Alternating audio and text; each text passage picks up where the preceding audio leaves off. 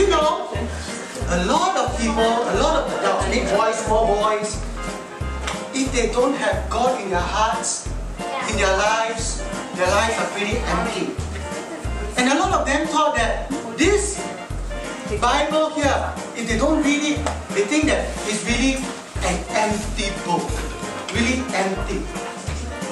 But, interestingly, how many of you read the Bible? Can I put your hands? No.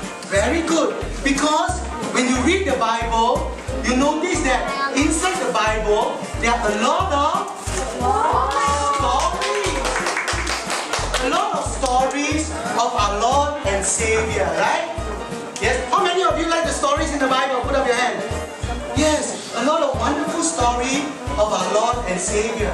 But you want to know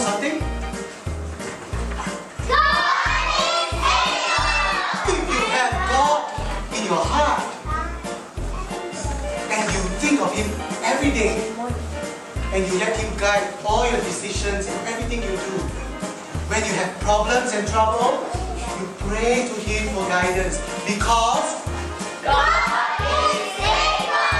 And guess what? Your lives oh